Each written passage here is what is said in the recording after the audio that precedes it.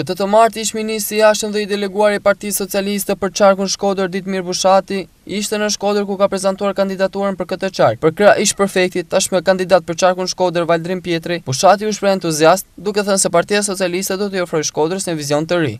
Atëherë ne sapo përfunduam një mbledhje të asamblesë së zgjeruar të Partisë Socialiste për Bashkinë e Shkodrës dhe kam kënaqësinë që të informojmë edhe opinionin publik këtu që kandidati jonë për Bashkinë e Shkodrës do të jetë Valdrin Pjetri.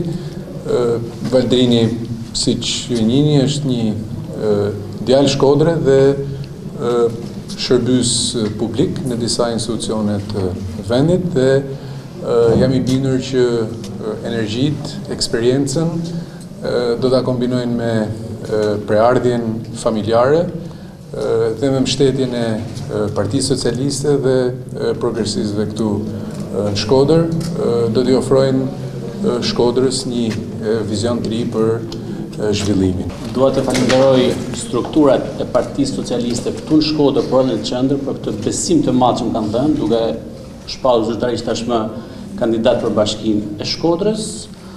Sa privilegj është dhe përgjegjësi për mua dhe për gjithë stafin tonë që neve të bëjmë më të mirën për këtë qytet të mrekullueshëm.